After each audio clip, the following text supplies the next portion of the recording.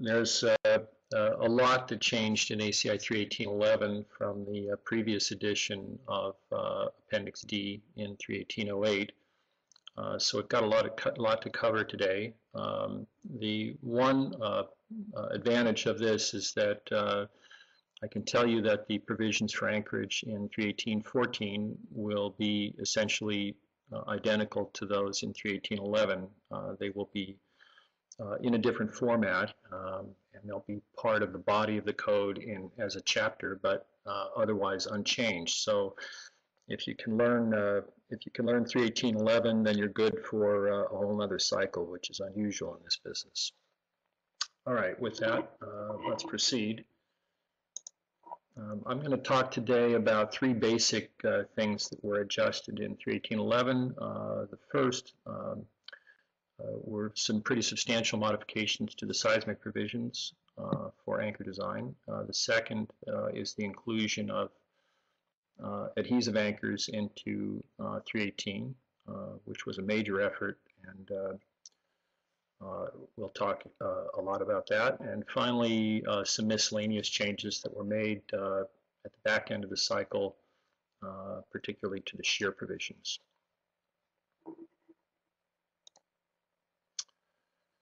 Uh, a little background uh, to how this happened. Um, there were um, uh, a lot of uh, issues raised um, uh, in the past about the seismic provisions in uh, Appendix D and um, how they were being applied in the field or not applied, depending on how reasonable it was to use them for specific issues.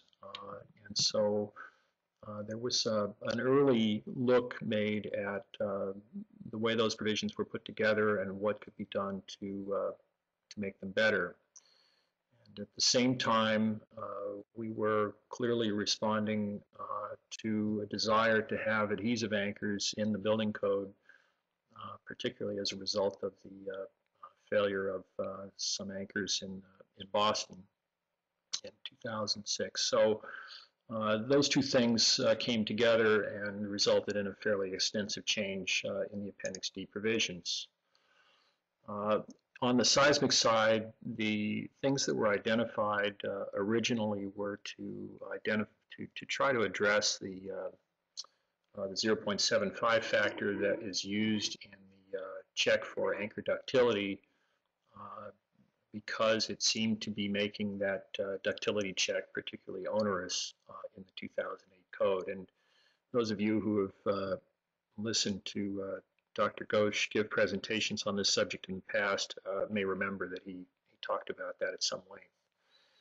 Um, there were other issues coming up uh, with the ability of um, of the Appendix D provisions to be applied to standard problems like uh, wood sill plate design uh, that didn't seem to work well given the restrictions on uh, uh, ductile anchor design. And uh, so that also received quite a bit of attention and some additional research was conducted by the Structural Engineers Association in Northern California uh, and all of that taken together meant uh, that we needed to take a hard look at the way those provisions were put together. Uh, finally, there were some things that came up along the way in terms of how the seismic provisions were uh, being applied to anchor design problems, and so a number of changes were made to try to make those provisions more useful. Um, the original proposal in ACI went through uh, uh, the seismic committee, uh, uh committee, subcommittee H, and it was uh, CH025 was the proposal. And it went through a lot of changes along the way uh, and also during the public comment phase.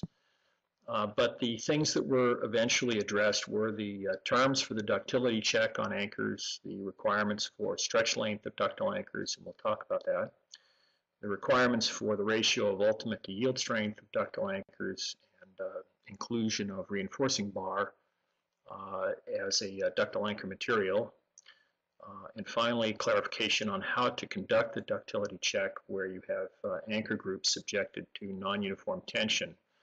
Uh, It sounds like an arcane case, but it's actually fairly common, and uh, uh, the way that the provisions were structured in 2008 gave you no clue as to how to handle that